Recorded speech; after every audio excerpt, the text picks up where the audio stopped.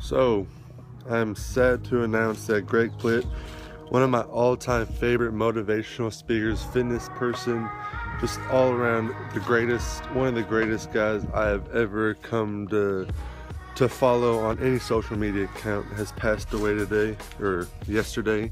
I'm hearing about it as soon as I woke up and almost brings me to the verge of tears just because just because watching his videos in the past motivating me.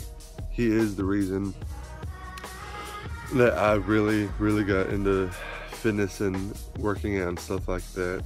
His videos, my Caitlin has showed me his videos, and he's just the greatest guy, one of the greatest guys that I could even think to even imagine.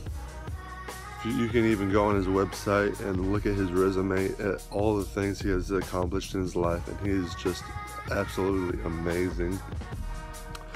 It really, it's really tough for me to even fathom how to live life or even how to know about life without him. He's inspired so many people along his journey. He's done so much. He's helped his country. He's been an actor.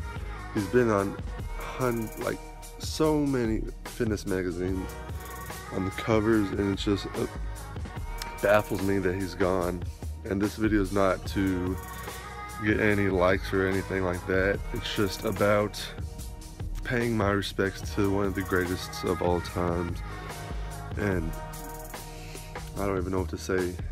Him being gone is just going to be one of the saddest moments in the fitness industry's life and it's just hard for us to even imagine him being gone and I'm just I want to wish him the best of respects and I know he's up there watching us and he wants us to succeed and if there's anything he's taught us is that we can't live life just being lazy bums. We need to get up. We need to live life to the fullest and he is shown us the way and taught us that day in and day out in all his videos and much respect to him. Life isn't about waiting for the storm to pass, it's about how learning how to dance in the rain. R.I.P. Greg.